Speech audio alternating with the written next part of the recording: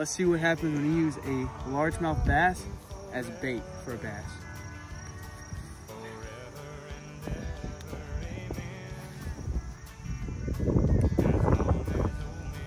See that run? We have a baby bass out, going for bass. Let's see if we can get him right here. We got a four hour, four aught circle hook and on the bobber. Wait, let's see it. In the project pound.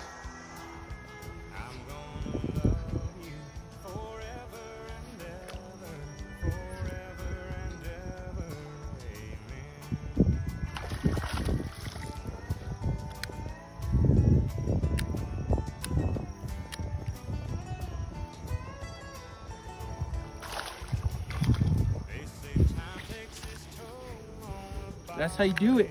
Bass like bass.